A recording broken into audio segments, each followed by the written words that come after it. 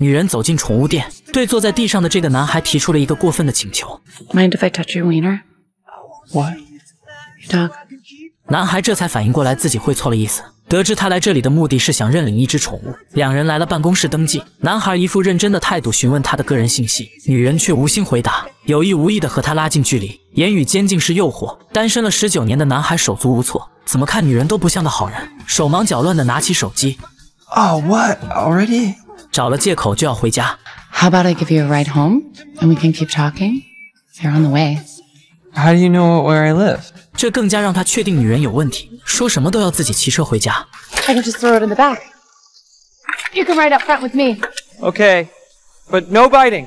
汽车行驶在公路上，眼看着这并不是回家的路，他就要打电话报警，可却被女人一把夺过。直到在一处空地停下，男孩不知从哪掏出一瓶防狼喷雾，女人痛苦地走下车去。Why? You tried kidnapping me! I can't kidnap you. You're 19. Grow up. 男孩仔细一想，还真的有道理，Will you get the hose, please? 用自来水清洗了眼睛。他解释了接近男孩的原因。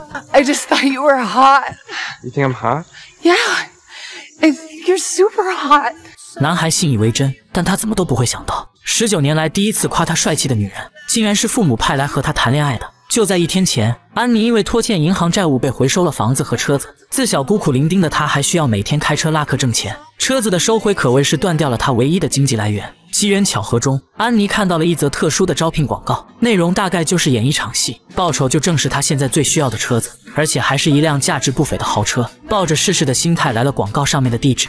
负责接待的是一对夫妇，两人就是先前男孩杰克的父母，同时也是这座庄园的主人。告知了安妮具体的工作要求，他们的儿子杰克从小就很宅，如今已经十九岁，还没有谈过一次恋爱，而且人还很内敛，不愿和任何人交朋友。安妮要做的就是想办法成为杰克的伴侣，并试图改变他怯懦和内向的性格。有着丰富恋爱经验的他立刻就答应了下来。自认为这只是小事一桩，可直到他第二天设计遇到杰克，防狼喷雾的效果还没有下去，安妮提出了约会邀请，自责的杰克也不知该怎么拒绝，犹豫再三后还是同意了，骑着自行车离去。安妮露出了计谋得逞的表情。次日晚上，两人相约在了酒馆见面。安妮本想趁机给他灌醉，然后就可以进行下一步的计划，但是 Pepsi, please. We only have Coke. He'll have a Long Island iced tea too.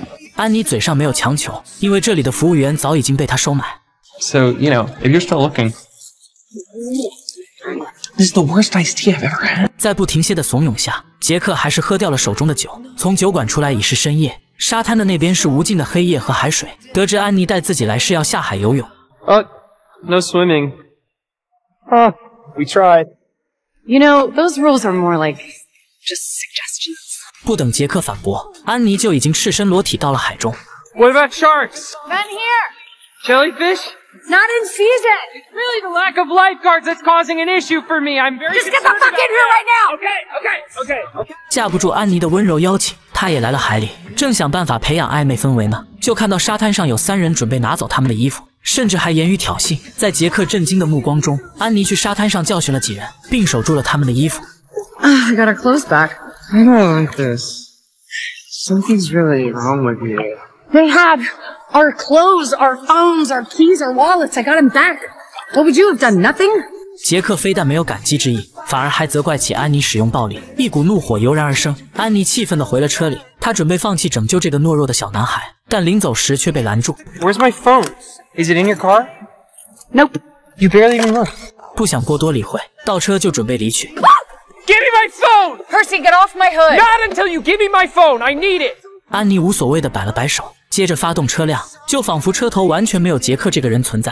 很快，这一幕就被交警注意到，因为有过多次交通违规，再被抓到，安妮将会被吊销驾照。为了还能继续靠开车补贴家用，他一脚将油门踩到底，千钧一发之际穿过了火车轨道，成功甩开了后面的交警。刚刚经历了这刺激的一幕，两人也无心计较先前的不愉快，来到安妮家中落脚。杰克的后背因为海水产生了过敏症状，涂药时他的神情严肃，对之前责怪安妮的事情做了道歉。然后讲起自己小时候的悲惨回忆，因为一些在外人看来不够男人的举动，杰克从小就被钉上了娘的标签。尽管父母家财万贯，但长期被那种言语侮辱，还是让他产生了严重的自卑心理。这也就是他经常宅在家里，不愿出门交朋友的原因。相比较人，他更喜欢和动物打交道。安妮听后也开始同情起他。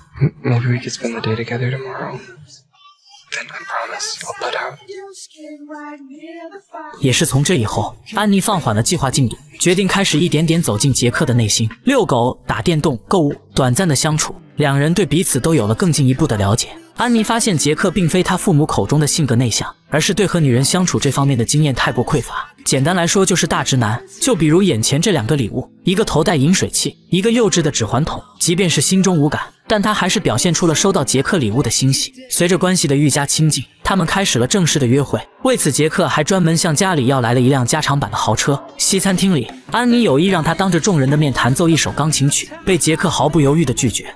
If you don't play something, I'm gonna make a toast to the entire restaurant about what an amazing lover you are. Good. It's time they find out. Stop, stop, stop, stop. 他没想到安妮竟然真的敢，无奈之下来了钢琴旁，音乐声刚起，周围人就投去了目光。面对这么多人的注视，杰克开始紧张。安妮就在不远处用眼神给予他鼓励，他的动作和歌声逐渐放开，客人们不自觉地跟随着音乐的节拍扭动身体。歌声停，掌声起，安妮一脸的不可思议。这一刻，那个在他眼中所谓的妈宝男，竟然是那么的有魅力。杰克也通过第一次当众表演，找回了些许的自信。本来此刻挺好的氛围。却是被他的下一句话打断。学校马上就要开学了，到那时两人的距离将会变远。If I have a car, then I, I can. It would be a lot easier for me to come back here on the weekends. 很显然，杰克如今已经把她当做了女朋友，并且是有着很深依赖的那种。You can always come visit me. Well, I don't have a car. You could take the train. It's only five hours. 安妮犹豫片刻，I just don't really, I don't do long distance. 回去的路上，两人不发一言。这段时间的相处，他们都对彼此有了情愫。相比较单纯只想和他在一起的杰克而言，成熟且需要挣钱还债务的安妮就会想的比较多。她并不想给他那些虚无缥缈的承诺，因为那只会让杰克在知道真相后更加的伤心。但谁也没能料到，杰克经过了一夜的深思熟虑，竟然决定为了安妮放弃去上大学的机会。父母肯定是反对的，可由于知道自己儿子的脾气，两人并没有直接开口劝阻，而是在杰克离开后向安妮打去了电话。Hi. I was gonna call you. Listen, I, I don't think I can do this. Percy has gotten way too attached. You you can have the car. Really? Even though we didn't. Uh, listen, you got him out of his shell, and that's all we wanted. 这段时间，杰克的变化被他们看在眼中，心中对安妮满是感激。所以接下来，他只要能劝说杰克去读大学，那么当初谈好的车子就可以给他。 安妮接受了这个任务，为了生活，她打算最后再骗杰克一次。但几人不知道的是，他们的谈话通过车内连接的父母手机蓝牙，全部一字不落地落入了杰克的耳中。震惊，不敢相信，各种复杂的神情在他的脸上交织着出现。到了最后，内心积攒了怨恨，他安排了时间让父母和安妮见了一面。看到他们表现得像第一次见面一般，杰克更加的失望。I just wanted to introduce you to them, but I didn't know how to explain how old you are. 几人尴尬的笑出了声。见他们还在伪装，杰克提前离开了餐桌，喊来专业的修车师傅，想尽办法破坏了那辆即将送给安妮当做报酬的汽车。再次返回家里，他一言不发的回了房间。How we doing? What's going on? If there's something I don't know, just tell me. 事到如今，杰克仍打算再给安妮一次向他坦白的机会。No. No?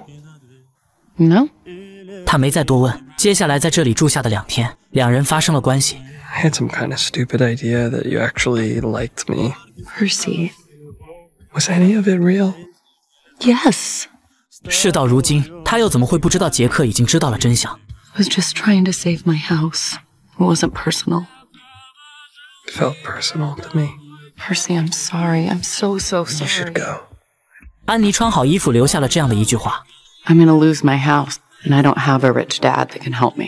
这个解释听起来是那么的无力，谁也没有想到结局会发展成了现在这样。父母也认真的向儿子承认了错误。从这以后，杰克与安妮再没联系，大量的逾期债务压得他整个人无法呼吸，平日里只能开着那辆已经半报废的车拉客挣钱，可终究是杯水车薪。姐姐因为看不下去，想要帮助他一把，准备卖掉自己的房子换一座城市生活。安妮自然不愿意接受这份馈赠，最后实在没有办法，她决定放弃房子，重新开始生活。然而没有了房子的她，生活质量不但没有降低，竟然还出奇的轻松，用网约车挣到的钱租了房子，将车进行了维修。现实生活从没有对待她如现在这般如此温柔过。乘车来了杰克家的庄园，她并没有抱着与杰克复合的心理，只想取得他的原谅。I've tried calling you. You can't just ignore me.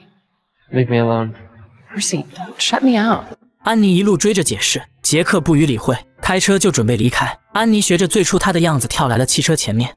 Get off the hood. I don't want anything to do with you. I'm not getting off until you talk to me. Then I guess we're doing this. 汽车发动，穿过大门来了公路，接着换成了满是石块的小路。一处沙滩赫然出现在前方。杰克因为被阻挡了视线，将车直接撞向了一个烧烤架。伴随着他们的尖叫声，汽车开进了海里。杰克紧忙下车查看安妮情况，好在她并无大碍。Sorry. Sorry. 安妮征求到了他的原谅，但也单单只是原谅。两人约定从此成为朋友。很快到了开学的日子，安妮开车来了庄园。她已经决定去杰克上学的那个城市生活。Tell you about my new boyfriend. 杰克明显一愣，New boyfriend. He's a former cop. Okay. Do you want to meet him? No. Well, he really wants to meet you.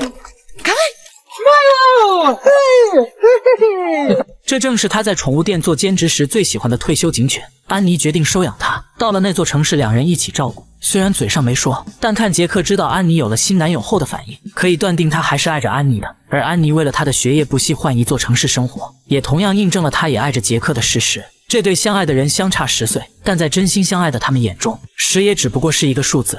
一则招聘广告，带着目的的蓄意接近。这部带有喜剧情节的爱情电影送给大家，喜欢的点了关注，我们下期见。